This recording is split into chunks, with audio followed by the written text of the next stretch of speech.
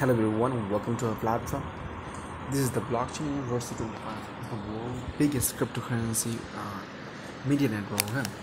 Today we're showing the new concept, new project, FTX wins in uh, bidding, uh, bidding war uh, against Binance and, uh, and the Boy Yeager's access.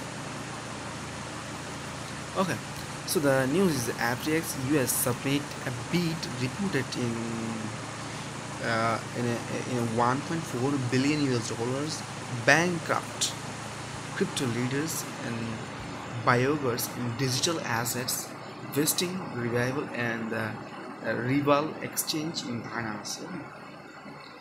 Uh, the you know the uh, FTX beats Binance with one point big Voyagers.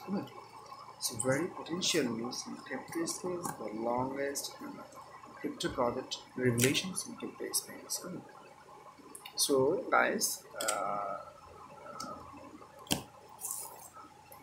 uh also guys, also so guys, uh, very engaging, very potential news in crypto space. Uh, you know, the FTX uh, breaking the cryptocurrency leaders and and Boyer and Voyager's digital fields in bank crypto in July 2022 after the cryptos went left waiting and and the and the liabilities in liabilities in 4.9 billion dollar in competitors actions which say multiple bids their assets FTX US own with a bid value 1.4 billion dollar in bidding uh, over out revival exchange in Binance.